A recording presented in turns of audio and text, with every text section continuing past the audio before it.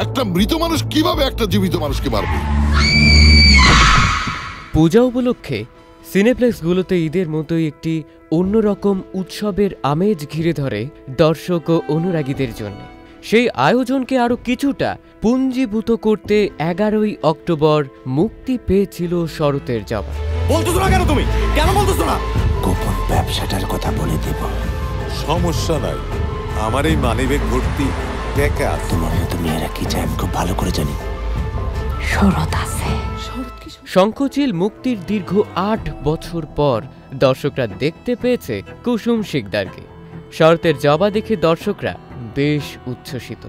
দর্শকদের প্রতিক্রিয়া শুনতে গেলে তারা জানান তাদের কাছে খুবই ভালো লেগেছে এবং এরকম নির্মাণ তারা আরও দেখতে চান। ভবিষ্যতে আমি কুসুম সিকদারকে আরও রোমান্টিক সিনেমাতেও দেখতে চাই। শরতের জবা সিনেমাটা অনেক ভালো লাগছে। ছবিটা অ্যাকচুয়ালি অনেকটা কাল্পনিক মানে ভূতের মানে মানে গোস্ট ব্যাপারটা ছিল। ছবিটা বর্তমান যুগের সাথে খুবই সুন্দর গেছে। এই মানে এটা হচ্ছে গ্রাম্য কাল্পনিক একটা মুভি খুবই সুন্দর ছিল।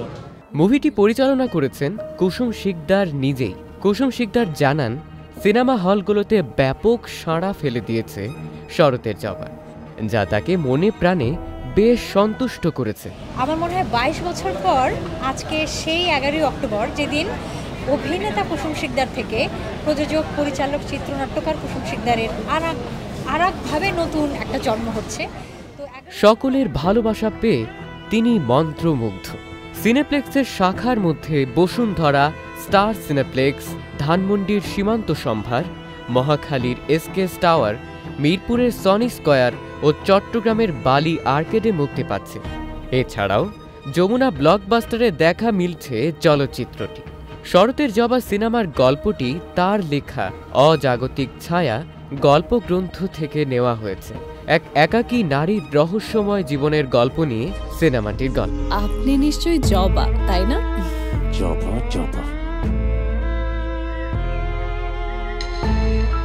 জানা যায়, অতৃপ্ত প্রেম, আঘাতের পর আঘাত, কিছু অপ্রত্যাশিত মৃত্যু জড়ানো জবার জীবন এক এক সময় এক এক প্রশ্নের জন্ম দেয়। এখানে জবা চরিত্রের নাম ভূমিকায় অভিনয় করেছেন কুসুম। শরতের জবা ছবিতে কুসুমের সহ অভিনেতা ইয়াশ রোহান। প্রথমবার জুটিবদ্ধ হয়েছেন তারা। সিনেমায় আরও অভিনয় করেছেন জিতু আহসান, নিদ্রা দে নেহা, নরেশ ভূঁইয়া প্রমুখ। আমি নিদ্রাতে নেহা এই গল্পে আমি বেদি হিসেবে ছিলাম শরতের জবায়। Sajida my Channel I.